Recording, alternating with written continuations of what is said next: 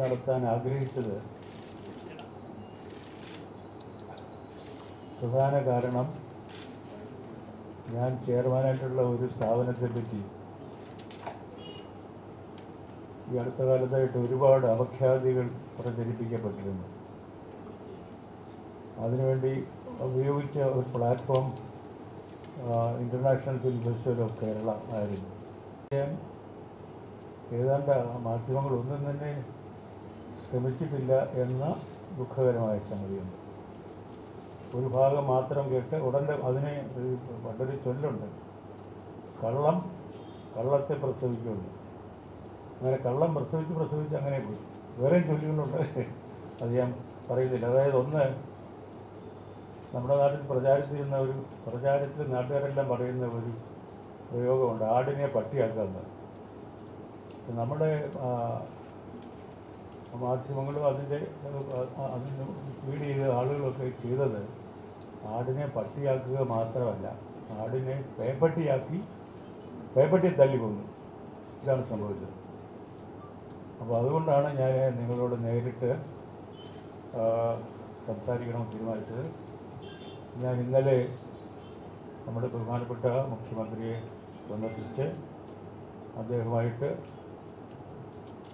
ദീർഘ സാമാന്യ നാശത്തിന്റെ വക്കിൽ എത്തി നിന്നിരുന്ന ഇൻസ്റ്റിറ്റ്യൂട്ടിന്റെ ഉദ്ഘാടനത്തിനും അതിനെ രാജ്യത്തെ തന്നെ മികച്ച സിനിമ പരിശീലന കേന്ദ്രമാക്കുന്നതിനും വേണ്ടി ശ്രീ ശങ്കർ മോഹൻ.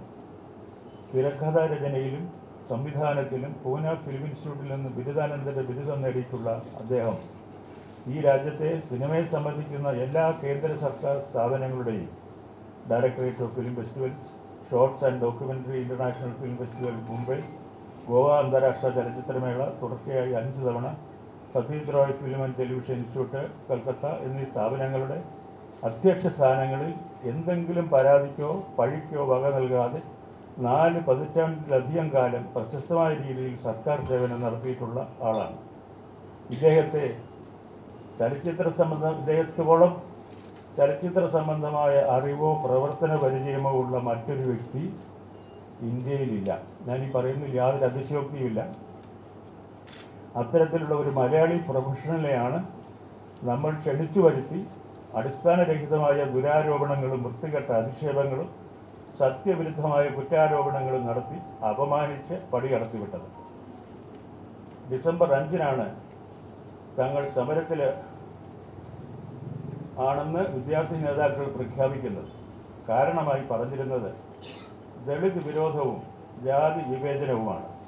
തുടക്കം മുതൽ മീഡിയയിൽ പ്രചരിപ്പിച്ചിരുന്ന ഒരു ആരോപണം ഡയറക്ടർ ഇൻസ്റ്റിറ്റ്യൂട്ടിലെ ദളിത് ശുചീകരണ ജോലിക്കാരെ നിർബന്ധിച്ച് അടിമപ്പണി ചെയ്യിച്ചിരുന്നു എന്നാണ്.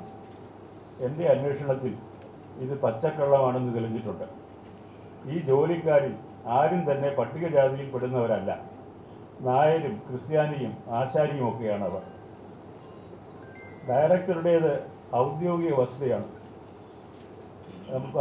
പലരും വിചാരിച്ചിരിക്കുന്നതും പ്രചരിപ്പിച്ചിരിക്കുന്നതും ഡയറക്ടറുടെ വീട്ടിൽ പിന്നെ ഇൻസ്റ്റിറ്റ്യൂട്ടിലെ തൊഴിലാളികളെ കൊണ്ടുപോയിട്ട് ജോലി കഴിച്ചു എന്നാണ്. അതാണ് സ്വീകരിക്കുന്നത്. ഡയറക്ടറുടേത് ഔദ്യോഗിക വസതിയാണ്.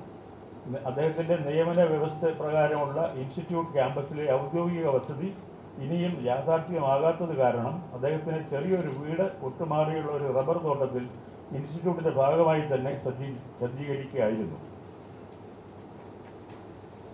ഇതനുസരിച്ച് ദിനം പ്രതി അവിടെ ചെന്ന് ശുചീകരണം നടത്താനുള്ള ചുമതല സ്വീപ്പർമാരിൽ നിക്ഷിപ്തമാണ്.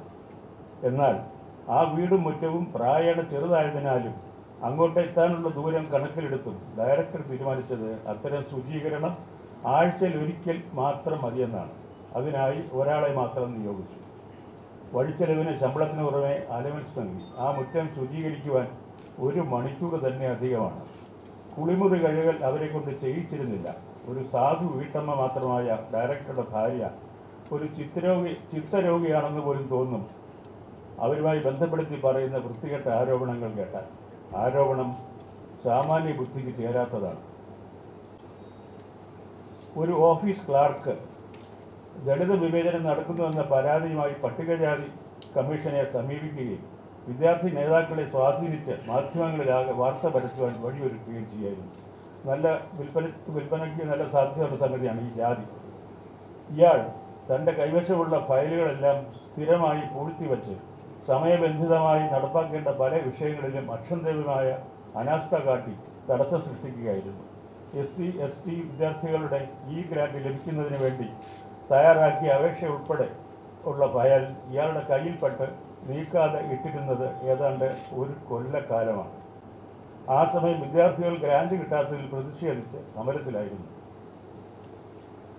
ഇയാൾക്കെതിരെ കാരണം കാണിക്കൽ നോട്ടീസ് നൽകുകയും മേലിൽ നിർദ്ദിഷ്ട ജോലികൾ കാലതാമസം കൂടാതെ ചെയ്യണമെന്ന് ഉപദേശിക്കുകയും ചെയ്തതോടെ ഡിസംബർ ഇരുപത്തിരണ്ടിന് തന്റെ കാലാവധി എല്ലാ താൽക്കാലിക ജീവനക്കാരാണ് കോൺട്രാക്ട് ആണ്. തന്റെ താൽക്കാലിക നിയമന കാലാവധി തീർന്നാൽ പുനർനിയമനം നടന്നേക്കില്ലെന്ന ഭയമാവണം ഇയാൾ എസ് സി എസ് ടി കമ്മീഷനെ സമീപിച്ചത്. ഇയാൾ